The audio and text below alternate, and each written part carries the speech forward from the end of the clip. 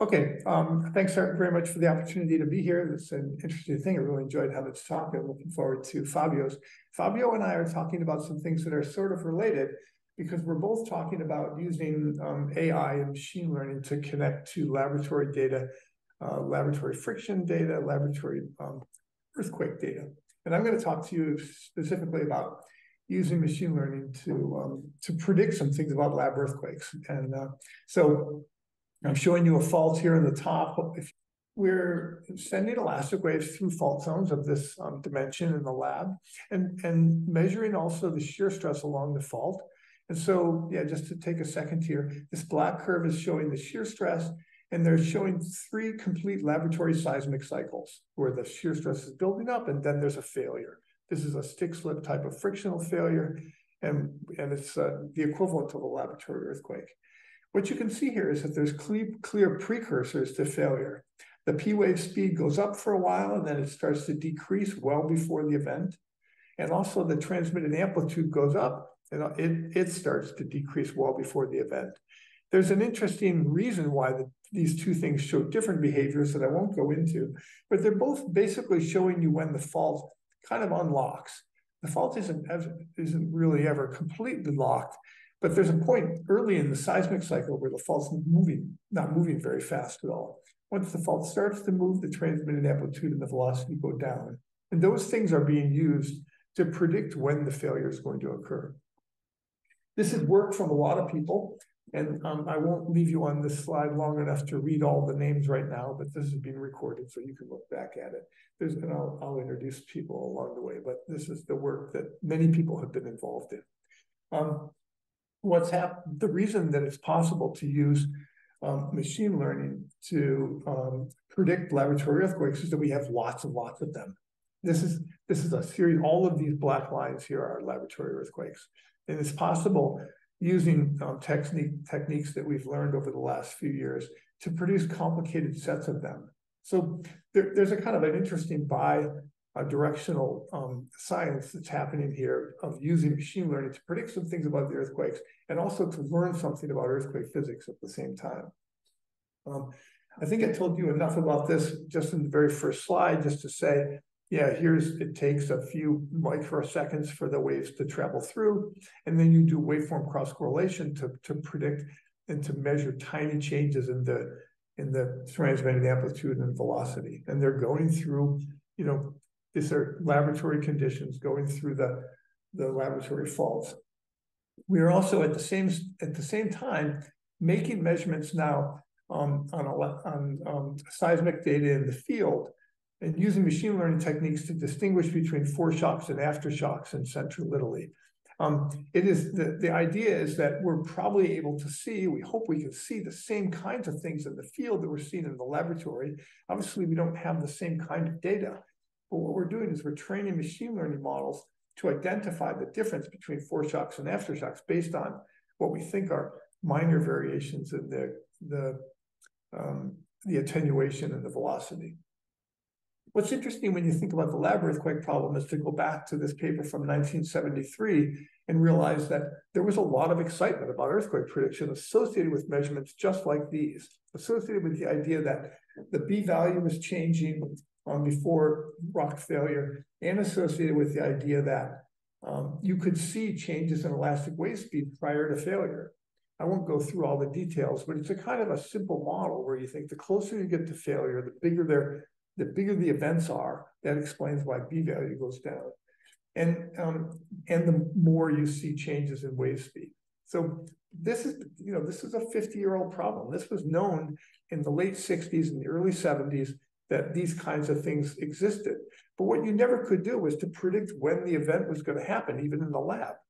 And it, it didn't happen until this paper in 2017, where um, Bertrand, Claudia, uh, people in Paul Johnson's group at Los Alamos realized that by looking carefully and using machine learning techniques on the continuous seismic data coming from lab experiments, you could predict when the events were going to happen. Okay, so this is from 2017.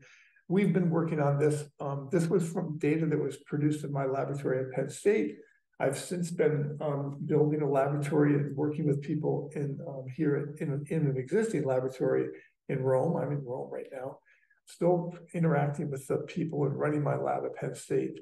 But lots of stuff has happened since 2017, not surprisingly.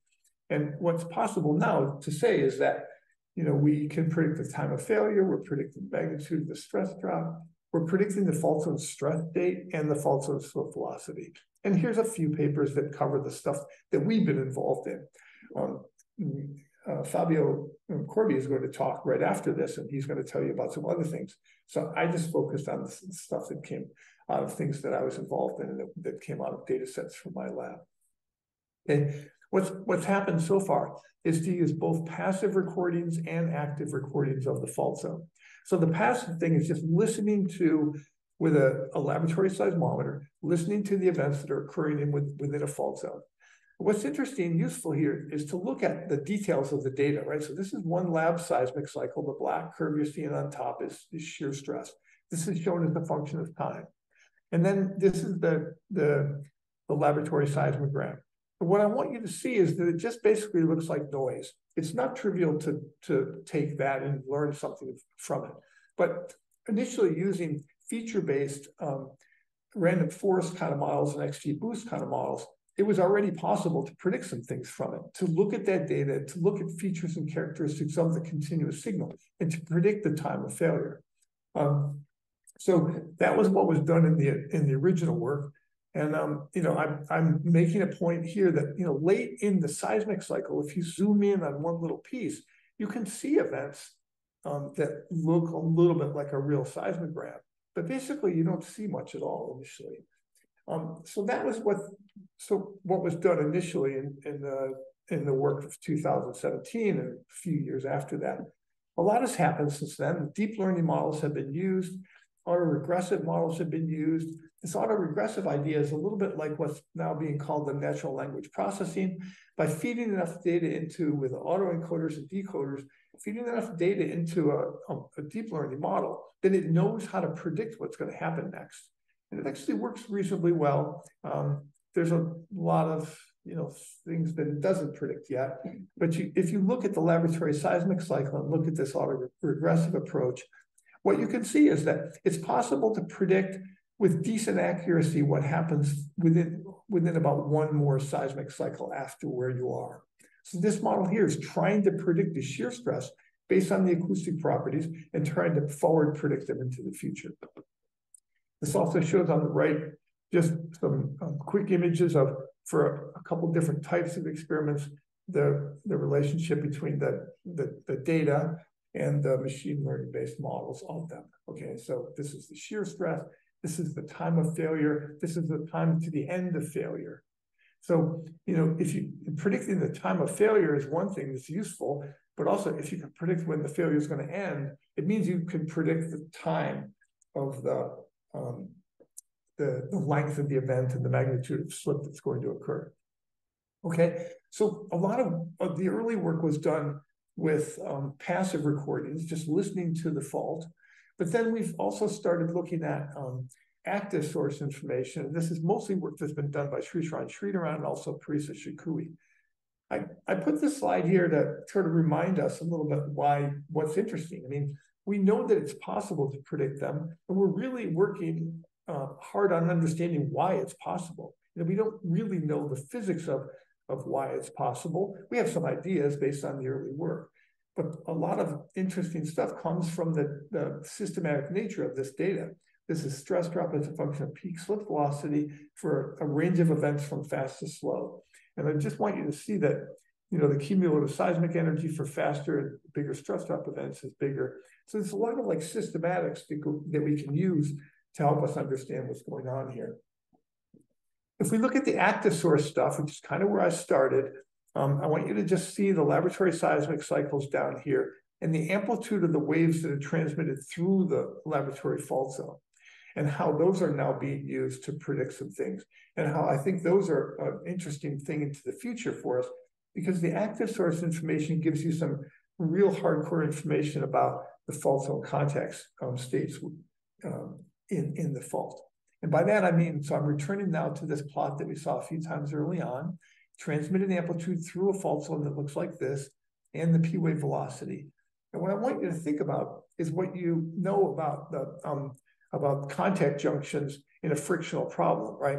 Every one of these junctions can be approximated like a Hertz contact and can be thought of in terms of the JKR contact theory. So if we do that, it means that this, this data on transmitted amplitude and velocity gives us some direct information about the contact geometry and how that's changing during the seismic cycle, right? And what I think of as is you know useful about this is to remember that yeah the, the reason the p wave velocity goes up until it starts to move is something that Coulomb wrote about in the 1700s right he knew that um, friction changed as a function of contact time right and this is a fundamental part of the rate and state friction law this aging idea so the longer the contacts sit in the longer the contacts live and sit they don't have to be stationary but they can't move too far the stronger they get and so it's not surprising that we see this. And in fact, we can back out of this some things about the way the contacts work. And so that's led to this is work that's been done in Parisa Shokouhi's group that we've been involved in at Penn State. And it is building that physics informed information into the neural network and putting it directly into the loss function of the of the of, a deep learning model, a bunch of different deep learning models. Okay. And so there's two things that are being done Okay, I'd set myself a timer. That was 12 minutes. And I think I just have like two more if that's okay. Um, so yes, please go ahead. Yes, thank you. So um, there are two things that are being built into the loss function of this deep learning model. One is the elastic coupling between the fault and the surroundings, and then the fault contact stiffness. And those both come directly from that active source information. And just you know, schematically, you can kind of see the way the model works, this multi-layer perceptron model you can see the two physics constraints there. We're taking the transmitted amplitude and getting the stiffness from it. And then we're also building in the idea, and that's in this equation. And then we're also building that idea is that we're solving for the velocity so we can use that to um, tell us something about what happens in the experiments. Very quickly, training validation testing is going on, sort of a standard approach. You can see the relationship between a couple different models and the data. And below you can see the residual. And I guess, you know, this, I'm not going to show you this long enough to get all the details. But the point is that these active source models, deep learning models, are really good. They, they predict, this is just trying to predict the shear stress here. They're really good. Um, a bunch of stuff's been doing, been we've been working with to understand transfer learning about how to take this information from the lab and take it to the field or how to take it between um, lab experiments. If you use deep learning, the transfer learning gets better.